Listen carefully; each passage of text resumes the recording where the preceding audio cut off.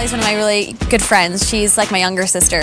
So I was really excited to see her. Oh, I'm so excited. My best friends are basically all here. I did the pilot episode of Hannah Montana before it was even the huge show that it's become, and we became really good friends when we shot that episode. Lucas, me and him share the same birthday, so me and him had birthday parties together.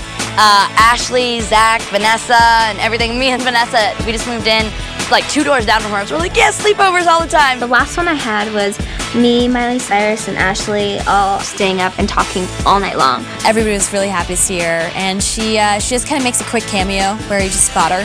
I need a second camera on Miley. Tighter shot on Miley. And playback party! Action!